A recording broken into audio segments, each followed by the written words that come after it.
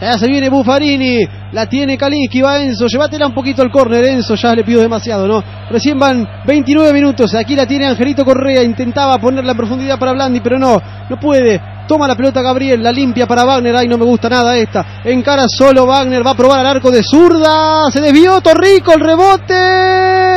Hay gol de Botafogo. Hay gol de Wallison, señoras y señores. 29 minutos y 20. Es Ferreira finalmente el que la empujaba. Unos Botafogo, cero San Lorenzo. Lenta reacción del arquero Sebastián Torrico. La defensa de San Lorenzo se había plantado.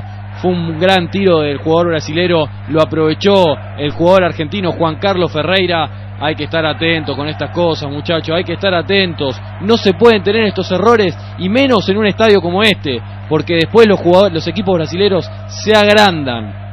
La maneja Lodeiro, otra vez de primera para Gabriel, se viene Botafogo, van a levantar el centro, está esperando Wallison, también Ferreira, Zeto en el punto del penal y de zurda la despeja, otra vez Gabriel le ganó a Zeto, el que quería era más, no podía, la maneja Botafogo, en la mitad de la cancha la tiene el jugador Matos, la pide Wagner, viene primero para Matos, ahí va a sacar el derechazo, gol de Botafogo, Wallison Gol de Botafogo, señoras y señores.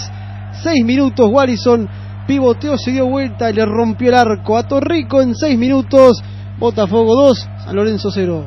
Decíamos que los equipos brasileños patean bien, vos lo decías bien, Darío. Wallison por ahora no había aparecido en todo el partido y genera ese zapatazo terrible al segundo palo de Torrico que nada pudo hacer en este segundo gol de Botafogo. Ahora San Lorenzo más que nunca. Cavalaro Villalba, alguno de esos tiene que entrar y sacar a Kaliski porque le está sobrando Enzo Kaliski en la cancha.